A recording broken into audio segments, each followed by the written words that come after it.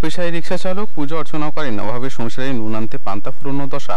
অথচ দারিদ্রকে জয় করে এগিয়ে চলেছে পাম্পি ঘোষাল। বাগুইহাটি অর্জুনপুর চরকতলার মেধাবী ছাত্রী মাধ্যমিকে পঁচানব্বই শতাংশ নম্বর পেয়েছিলেন। পাম্পির পাশে দাঁড়াতে এবার এগিয়ে এলো স্থানীয় বাগুইহাটি ও শ্রীনগর বন্ধুমহল ক্লাব। পাম্পি পড়াশোনার সমস্ত দায়িত্ব নিয়েছে ক্লাবটি। বাগুইহাটি অনন্দা সুন্দরী স্কুলের ছাত্রী পাম্পি মাধ্যমিকে চমৎকার রেজাল্ট করেছে। লকডাউনের মধ্যে অবশ্য তাদের বাড়ির অহবারও প্রকট হয়েছে। সংসার চালানোই দায়। পড়াশোনার টাকা কীভাবে জোগাড় করবে চিন্তায় ছিলেন পাম্পি। তাই বন্ধুমহল ক্লাবের সদস্যরা এগিয়ে আসেন। ক্লাবের সদস্যরা জানিয়েছেন যে লকডাউন এবং করোনার জন্য এবার তাদের পুজো ছোট হয়ে গিয়েছে। কিন্তু সামাজিক কাজে তারা এগিয়ে থাকতে চান। বন্ধুমহল ক্লাবের ব্র্যান্ড অ্যাম্বাসেডর করা হয়েছে পাম্পিকে। পাশাপাশি তার পড়াশোনার সমস্ত দায়িত্ব নিয়েছেন ক্লাব সদস্যরা। ক্লাব সভাপতি পার্থ সরকার বললেন, পুজো ছোট হলেও সামাজিক কাজে মানুষের পাশে থাকতে হবে। কারণ লকডাউনে প্রচুর মানুষ সমস্যার মধ্যে রয়েছেন। শুধু পাম্পি নয়, আগামী দিনে আর অভাবী মেধাবী এরকম পুরোদের পাশে দাঁড়াতে তারা প্রস্তুত। পার্থ সরকার এহেন উদ্যোগকে সাধুবাদ জানিয়েছেন সকল শুভবুদ্ধি সম্পন্ন মানুষ। বাঙালির শ্রেষ্ঠ উৎসব দুর্গাপুজো। শহর থেকে শহরতলি প্রত্যেকেই অত্যন্ত ভাবে আপ্লুত বা যে পুজোকে ঘিরে তাদের আবেগ থাকে, সেটি হলো বন্ধুমহল ক্লাব। আর আমরা এই মুহূর্তে পৌঁছে গিয়েছি সেই ক্লাবেরই সম্পাদক পার্থদার কাছে। এবছরের পুজো একেবারেই করোনা আবহে অন্যরকম। মানুষের জন্য, মানুষের ভাবনায় বিভিন্ন রকম আঙ্গিকে এবার এই পুজো অতিবাহিত হতে চলেছে।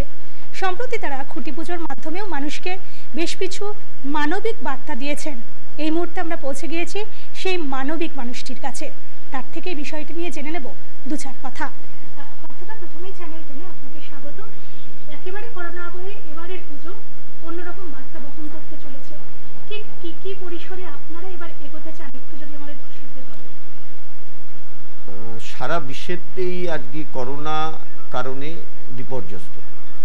আর আমাদের, বিশেষ করে আমাদের পশ্চিমবঙ্গে আমফান নতুন করে যুক্ত হয়েছে। পাশি এখন কীভাবে জীবনযাপন করবে, তার দিক খুঁজছেন।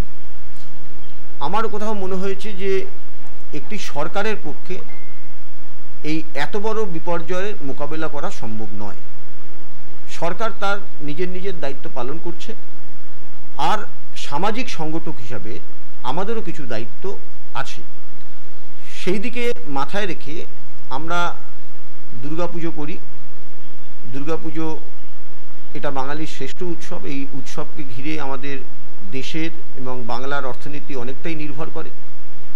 স্বাভাবিক ক্ষেত্রে আমাদের মনে হয়েছে যে এই দুর্গাপুজো যেমন করতে হবে, এর পাশাপাশি দুর্গাপুজোকে কেন্দ্র করে কিছু মানুষকে যদি তার পাশে দাঁড়ানো যায়, একটা সামাজিক মুখ আমরা যদি দেখাতে পারি, ঠিক এই জায়গায় কোথাও মনে হয়েছে দুর্গাপুজো যেমন দুর্গাপুজোর মতো করে হবে, বাজেটটা একটু কাটল করে কিছু মানুষের পাশে দাঁড়ানো। একটা দিক আমাদের কোথাও মনে ছিল, আনন্দবাজার পত্রিকায় একটি আর্টিকেল বেরিয়েছিল, একটি মেয়ে মাধ্যমিকে পঁচানব্বই শতাংশ নাম্বার পায়। তার বাবা রিক্সা চালক খুব কষ্টে তার দিন যাপন করে তারা। ঠিক এই পরিপ্রেক্ষিতে আমাদের মনে হয়েছে এই পরিস্থিতি তার পাশে যদি দাঁড়ানো যায়। ঠিক এই জন্যেই আমরা এবারে দুর্গাপুজোর কিছুটা বাজেট কমিয়ে তার পাশে দাঁড়াবো বলে ঠিক করেছি এবং তাদেরকেই, তাকেই আমরা ব্র্যান্ড অ্যাম্বাসাডার করেছি এবং দু হাজারে এই ইলেভেন টুয়েলভে আমরা তার পড়াশোনার সমস্ত খরচ আমরা দেব ঠিক করেছি এবং তার আগামী দিনের পড়াশোনা যাতে সে চালাতে পারে টাকার অভাবে যাতে পড়াশোনা বন্ধ না হয়ে যায় সেই দিকটা আমরা দেখব। আমরা মনে করি যে এই মেয়েটি হচ্ছে আমাদের দুর্গা, আগামী দিনের দুর্গা।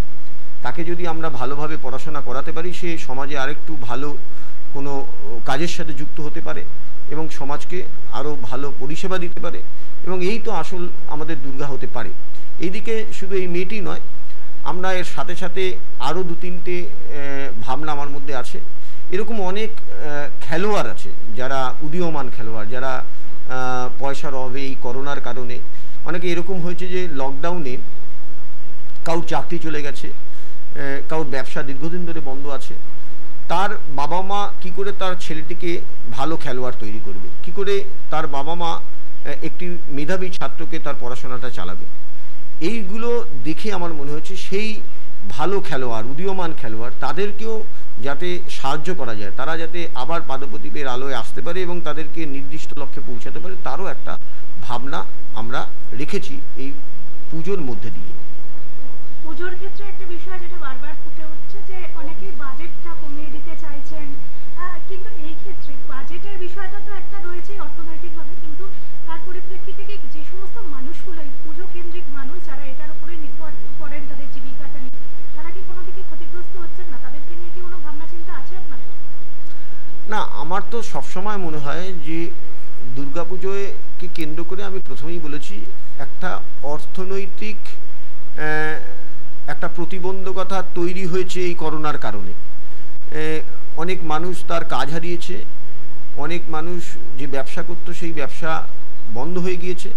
সেই সমস্ত বিপর্যস্ত মানুষকে স্বাভাবিক জীবনছন্দে ফিরিয়ে আনা যেমন সরকারের দায়িত্ব ঠিক পাশাপাশি একটি সামাজিক সংগঠক হিসাবে আমাদেরও দায়িত্ব রয়েছে। সেই দায়িত্বের কথা মাথায় রেখে পুজোর কিছুটা বাজেট তো অবশ্যই কমানো।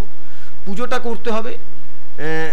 এত মানুষের অসহায় মানুষ, তার মধ্যে একটু উৎসবের মধ্যে মেতে জীবনচন্দ্রে ফিরিয়ে আনা।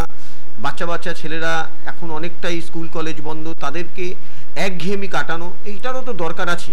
এবং এর পাশাপাশি এই দুর্গাপুজোকে কেন্দ্র করেই এই সমস্ত যারা কাজ হারিয়েছেন বা আমি আমি বলতে পারি যে ডেকোরেটিং ব্যবসা যারা যুক্ত যারা বাঁশ বাঁধেন এই পুজোয় তাদের রোজগারের একটা ব্যবস্থা ব্যাপার থাকে। তাদের বিষয়টাও আমরা দেখতে চাই। যদি পুজো বন্ধ হয়ে যায় তাহলে কি করে তাদের সংসার ই হবে? যেমন আমি ভেবেছি যে আমাদের এবার দুর্গাপুজোতে এ, আমাদের এই অঞ্চলে যে সমস্ত পুজো কমিটিগুলো আছে তাদের সঙ্গে তাদের যারা লাইটের কাজ করবে যারা প্যান্ডেল বাঁধবে তাদেরকে একটা বোনাস আমরা এবার আমাদের পুজো কমিটির পক্ষ থেকে দেব। আর সেটা পুজো না করলে তো দেওয়া সম্ভব না। পুজোটাও চলবে। পুজোটা একদিকে বাচ্চারা আনন্দ করবে আর একদিকে এই বিপর্যস্ত মানুষের মুখেও হাসি ফোটাতে হবে। এই দুটোই পাশাপাশি করব বলেই আমরা ঠিক করেছি। আর একটা প্রশ্ন যে অনেকেই যেমন অন্যান্য বার যেমন একটা বিষয় থাকে কম্পিটিশন পুজো নিয়ে কম্পিটিশনে মেতে ওঠে কিন্তু এবার একেবারেই করোনা আবহে অন্যরকম। মানবিক দিক থেকে আপনারা কতটা প্রস্তুত বা ভাবনা চিন্তা কি রয়েছে পুজো নিয়ে? অ্যাকচুয়ালি আমরা পুজো পাগল লোক তো। পুজোকে নিয়ে পুজোটা আমাদের প্যাশান আর এই দুর্গা পুজো হচ্ছে বাঙালির শ্রেষ্ঠ উৎসব। এই উৎসব সমস্ত মানুষ মেতে ওঠেন। ধর্ম তার নিজে নিজে আর উৎসব সবার। এটাই আমাদের মূল মন্ত্র। সেই দিক থেকে দাঁড়িয়ে একটা সাম্প্রদায়িক সমৃদ্ধির বার্তাও দেওয়া যায় পুজোকে কেন্দ্র করে। আরেকটা হচ্ছে হ্যাঁ কম্পিটিশান তো আমাদের এবছরে সেভাবে থাকবে না। এবছরে কম্পিটিশানটা থাক আমি মনে করি যে কে কত বেশি করে মানুষের পাশে দাঁড়াতে পেরেছেন। বিপর্যস্ত মানুষের পাশে দাঁড়ানোর একটা কম্পিটিশান যদি হয় এই পুজোকে কেন্দ্র করে, আমার মনে হয় এটা অনেক বেশি প্রশংসনীয় হবে, প্রশংসার দাবি রাখবে। Report channel